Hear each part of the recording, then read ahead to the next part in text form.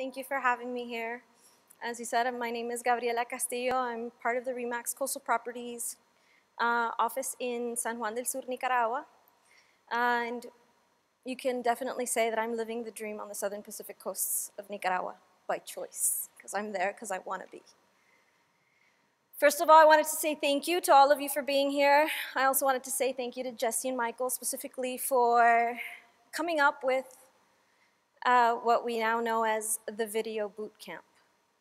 Um, I live in Nicaragua. I come to the United States maybe three, four times a year at most. Um, but when I come to the RE/MAX R4 convention, which I try to do yearly, I always try to like squeeze as much out of it as I can. And so when I saw in 2016 that they were offering a two-day video boot camp that started on Sunday, I was like, eh, I'm gonna miss everything, all my other opportunities on Monday, but this sounds really good. Uh, so I think I'm gonna go for it, and I did. So why did I get into video? Why did I choose this video boot camp? There's a lot more to it. I do video in a very different way to what these other guys do video for. I mean, these guys are like super technical and they really know what they're doing with all of the apps and all that other stuff. And um, my situation was a lot different and uh, it was more strategic for me. I'm also the broker, so I wasn't really looking to sell a specific piece of property. I was looking to um, to change some things uh, for my community, for my country. So, because it really didn't matter how professional I was, it didn't really matter how hard I worked, and it didn't really matter how great Nicaragua actually really is. So essentially I had to figure out a way for people, I mean, even here in, in R4, I, when I first started coming in, I would say I'm from Nicaragua and everybody was like, ooh, that sounds exotic, where's that? You know, and now it's, now it's like, oh yeah, Nicaragua, yes, okay, I know that place now, you know, so um, I wanted to kind of change that mentality of, uh, first of all, getting to know where Nicaragua was, and second of all, for the generation that's a little bit uh, in more advanced age, I wanted them to change their idea of Nicaragua. So my quest was a lot more in depth than just selling real estate, although that does happen. Um, I wanted to change people's perception of the country and have them be more open to visiting and possibly investing or hopefully even falling in love with a country. That's my Nicaragua. So when you say Nicaragua, usually people think of this. That's like the first thing. Uh, they also think just general poverty, war, conflict. They think of all of these very negative things. And it was really important for me to kind of change that perspective because this is definitely not the Nicaragua that I live. I mean, yes, I can go to the slums and I can go to the dumps and I can see all of this. This is the same thing that you would see if you went to the slums and the dumps and what have you in any other place, right? So what if I told you right now that Nicaragua is the largest country in Central America and it has both Pacific and Caribbean coasts and incredible surf? What if I told you that Nicaragua is growing very quickly with an average of 9% annual tourism growth rate in the last 10 years, consecutively, essentially, you know, a little bit less, a little bit more sometimes. Um, and it actually had a spike of 25% growth in tourism the last quarter of 2017. It's enjoying one of the strongest GDP growth rates in Latin America with 4.9 in 2017. It's the safest country in Central America, statistically speaking. It's, that was reported by the World Bank, so you don't have to take my word for it. And what if I told you the Nicaragua has the highest concentration of millionaires in Central America, according to Forbes. What if I told you that the country predicts it'll have 90% of its energy produced by renewable sources in 2020? Or it allows foreigners to have the same rights to land for owning as locals? Or that it has 14% construction, construction growth rate for 2017, and it's predicted to continue into 2018, maybe even grow. I mean, would you be surprised by any of these things? I mean, I think most people are usually like semi blown away. It even has a six star resort where movie stars go. Really, it does. And it's just an hour drive from where I work. Well, actually, we have agents in that area too, so if you want to go see it, let us know. yeah. So, in today's market, it doesn't really matter what you read. It doesn't. Like all of the articles that come out about Nicaragua are amazing, you know. All of these amazing uh, travel industry places.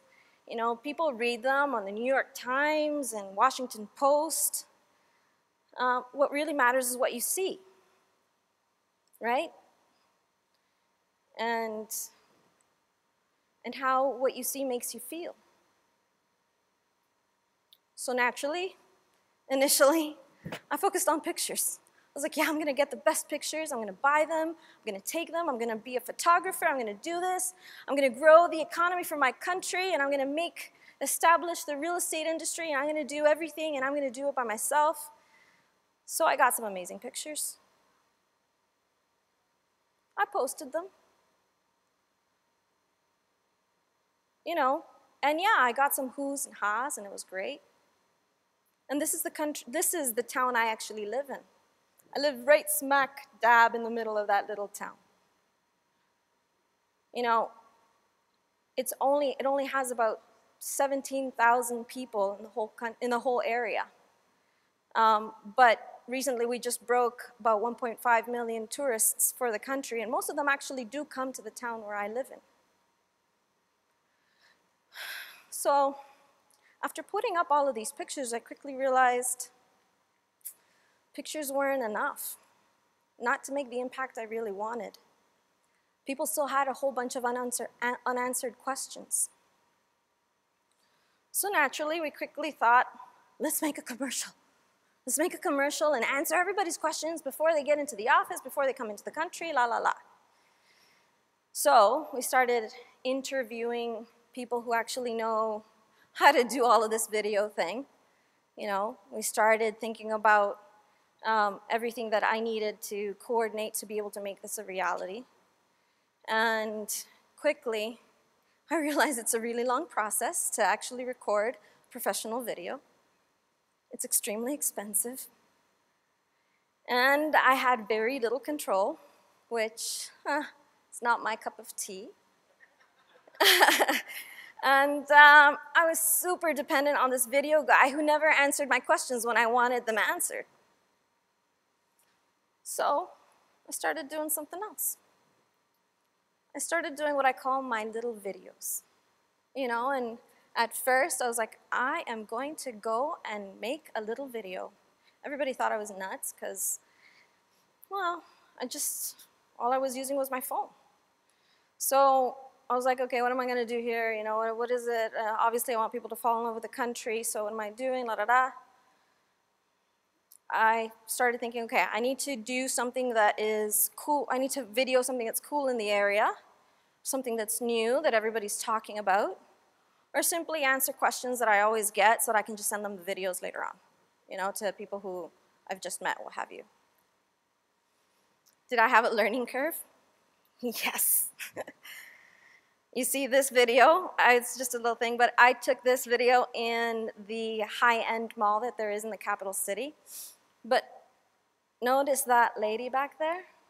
Yeah, she's security for the mall. she started following me around as soon as I started going live. She was like, you can't do that here. It's like, oh, sorry yeah, and I'm also very quirky, you know, I'm not a super techie, but, you know, I, I try to get the job done. So that's me on the beach, super bad resolution because the internet data stuff isn't all that great in Nicaragua along the beaches sometimes, you know.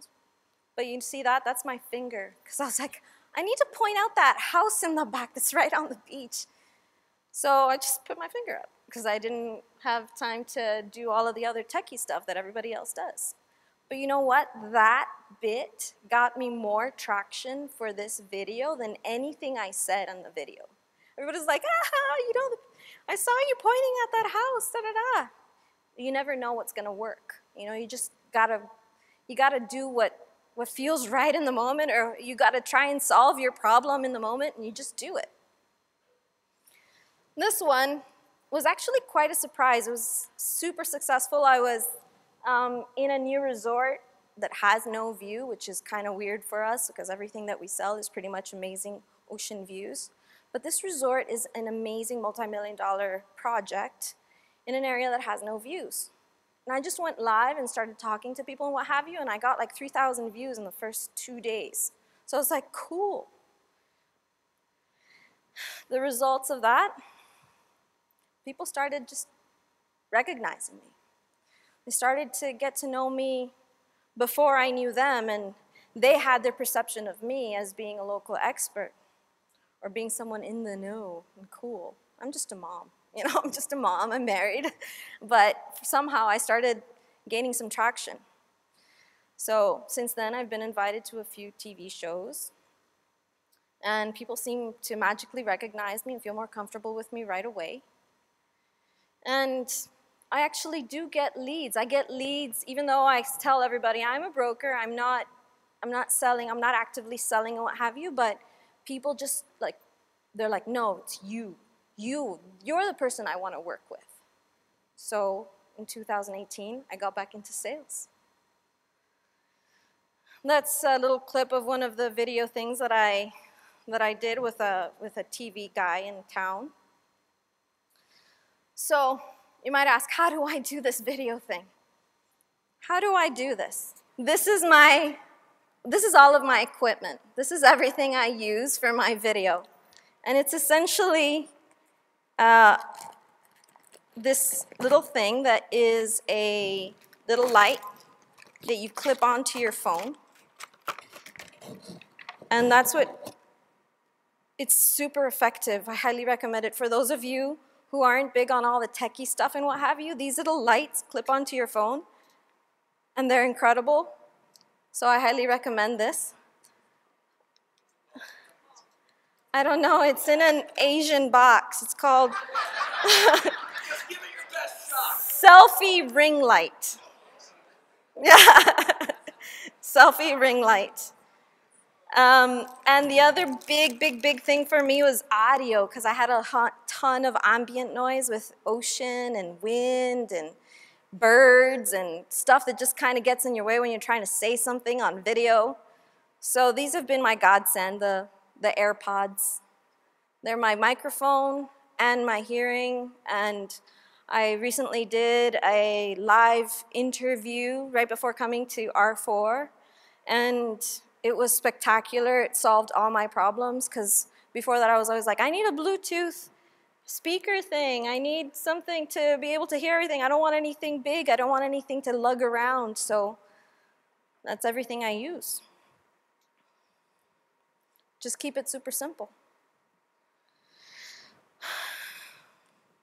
So when I'm ready to go out for a video, or when I think I'm ready to go out for a video, I just grab my phone my battery pack. I pick a spot, I pick a topic that I want to talk about. Make sure I have enough data on my phone so that it doesn't get cut off because I usually do just go live. Uh, I choose a, so a, social media channel. In my case, I'm very comfortable with Facebook. I don't really use a ton of other social media channels, but I'm trying. And uh, I extend my arm, take a deep breath, and really just press the red button. That's pretty much it. So I record or I go live, depending on how my internet signal is at the specific spot. The funny thing is, though, I'm up here on stage. I'm really uncomfortable in front of the camera. I'm really uncomfortable in audiences and what have you, and there's a whole reason about that. um, but you just kind of really do have to just take a deep breath. It's kind of, the feeling is kind of like I don't know if you, when you were a kid or what have you, and you had to go swimming or take a dive for the first time by yourself, you know, that, that rush that you get as soon as you're about to jump in, and that, like, oh my gosh, I can't believe I'm gonna do this. Press the button, go. You can always delete it. Okay? so, essentially, my recommendation and what's worked for me is just to keep it super simple. Choose your why for making your videos. Be generous with your audience. Give them the information that you know people are always asking you for. Be yourself. They already like you. They're already watching because they like you. So just keep, be yourself and just do whatever you can. No matter what you decide, it'll be better than the alternative, which is nothing. So if you're doing nothing, how do you expect any change? Thanks for your time, guys.